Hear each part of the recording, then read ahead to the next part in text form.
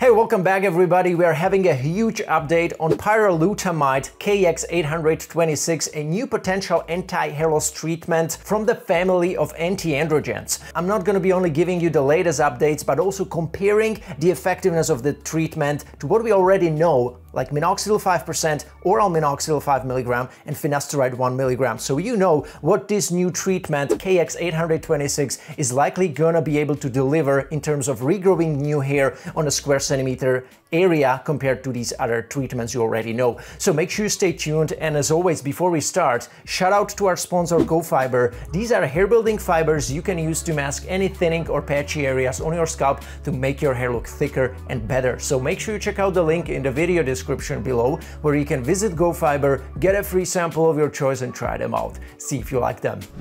Alright, before I share with you the results of the second trial on pyrilutamide or KX826 and how effective the treatment actually was in terms of regrowing new hair. For all the new guys who don't know that treatment, we are already kind of in the last couple stages of that potential FDA approval of this treatment. We are reaching already the stage of the trial number three in China that will start happening very soon. And after that, the United States will follow. The first trial number one and two have been already accomplished where this treatment have been studied extensively for safety and efficacy. Now, before I'm gonna jump into the trial number two results on pyrilutamide, I would like to explain what is the difference between KX826, so-called pyrilutamide, versus finasteride. If you look at the image above, you see how the Propecia is able to reduce the amount of DHT, dihydrotestosterone, in your scalp tissue, and thus you will get lower miniaturization, less shedding,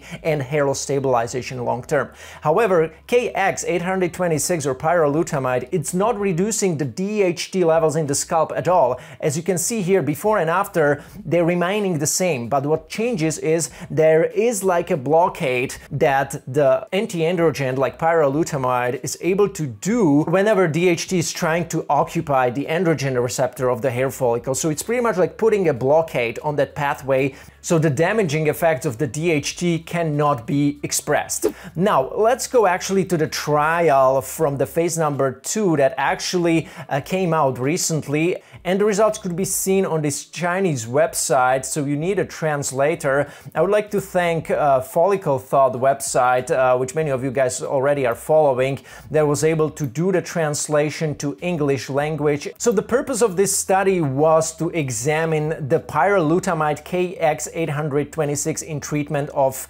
Chinese adult male patients with androgenetic alopecia, and all these patients were classified as Norwood 3, 4, and 5s. Now it was a multi-center, randomized, double-blind, placebo-controlled phase 2 clinical trial. And all of these 122 subjects, I believe, were pretty much divided into four groups, actually five. The first group was assigned to 2.5 milligram pyrilutamide uh, concentration that was diluted into a topical solution in a 0.25% correspondingly applied twice a day. The second group was assigned to a 5 milligram or 0.5% concentration of pyrilutamide applied once a day. Third group uh, was assigned to a 0.5% concentration uh, pyrilutamide applied twice a day.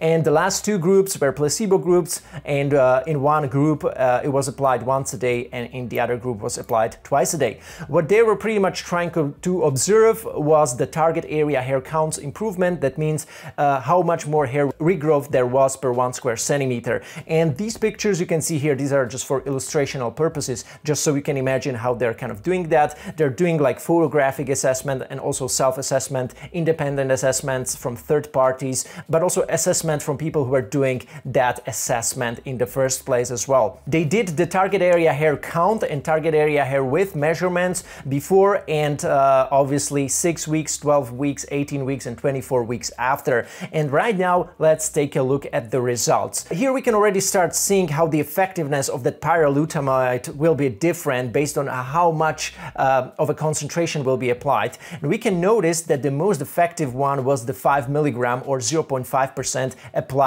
twice a day. After this concentration, there was the 2.5 milligram applied once a day.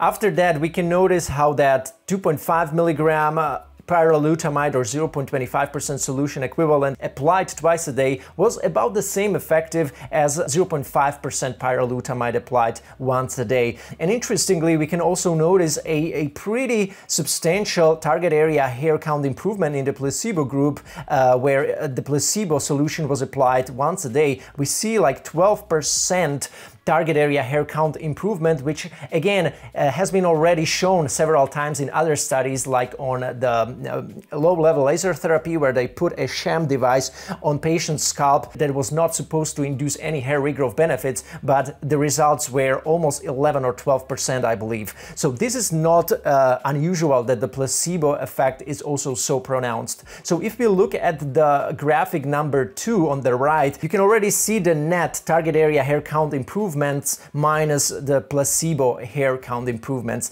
And uh, clearly the winner would be the 0.5% pyrilutamide solution applied twice a day. Now, if we go to target area hair count after 6, 12 and 18 weeks and also 24 weeks, we notice again that the clear winner, not as clear, but definitely uh, obviously winning here is again the 0.5% solution of pyrilutamide applied twice a day and after that it would be the 0.5% solution applied once a day and 0.25% solution applied twice a day. Now we don't need to really dig into these lower solutions as much anymore in my opinion because it's clear that they will now choose the 0.5% solution as a winner that will be observed and extensively studied for safety and efficacy further in the trial number 3. So I think the 0 0.25% solution applied twice a day or once a day, it won't be even a subject of further examination anymore. Now, interestingly, if we look at the hair growth assessment that is being done by patient himself or a researcher who did that experiment and did the uh, tracking and photographic assessment, and also a third-party professional, we are noticing at least a 50% improvement in self-perceived hair growth if we compare the subjects from before and after week 24. By the 0.5% solution, it's going from 56% onto 80%, for example. And also if we observe the assessment done by third-party professionals that had nothing to do with that experiment and were not really biased into seeing any outcome, uh, they are actually, uh, the results of these observations are very pronounced. For example, in the 0.5% pyrilutamide group applied twice a day, we are seeing improvements in that third-party professional assessment going from 16% onto like 57%, which is almost three times as much if we are observing, for example, the 0.5% solution applied twice a day. And this is pretty significant to me. So it was really obvious even to third-party uh, professionals that this experiment really resulted in really good hair regrowth and obvious hair regrowth rates.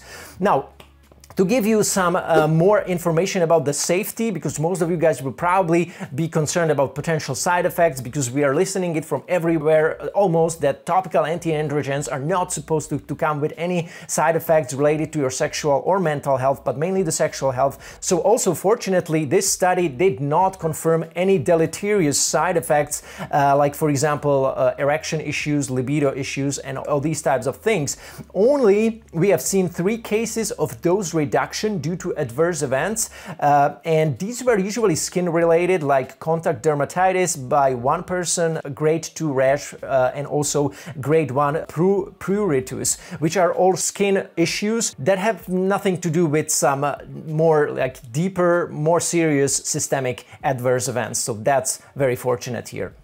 Now overall the main adverse event was uh, pruritus which is again just skin dryness and this induces like itching and it's related mainly to the potentially even the vehicle. I don't know what exactly they used as a vehicle for applying that uh, KX826 so all these things could have really led to all these adverse events related to the skin. So that's very good that it didn't uh, lead to any deaths or any additional serious adverse events.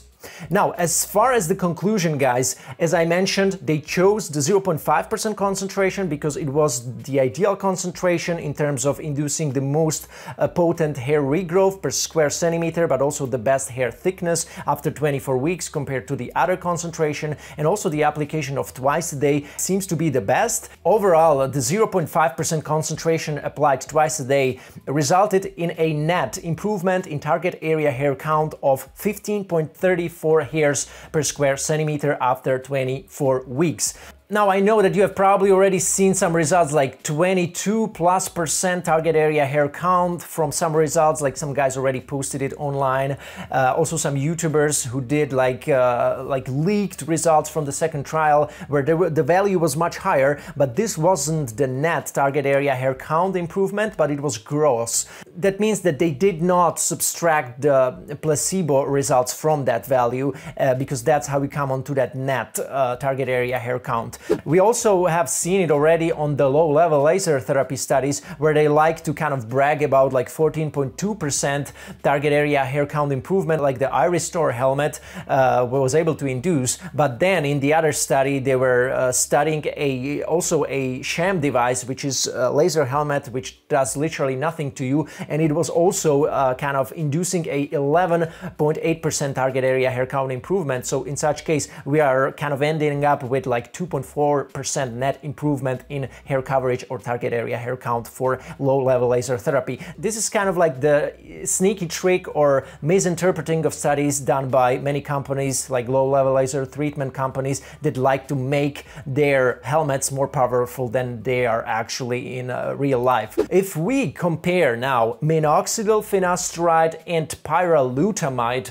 uh, KX826, what will win? Maybe you have asked. Now, what I can tell you here we don't have ideal values for this comparison because, for example, oral minoxidil have never been tested on a placebo-controlled uh, kind of fashion. We have only some observational studies and cohort studies, so there is no placebo group involved, unlike with topical minoxidil and finasteride 1 milligram. So let me give you an approximations here as best as I was able to find. So if we look at pyrilutamide, after six months, we are getting more than 22% uh, gross target area hair count improvement and net target area hair count improvement of 15.3% in six months. If we go to oral minoxidil, that is uh, experimental treatment that some doctors are prescribing off-label and you can definitely try it out at your own risk if you want.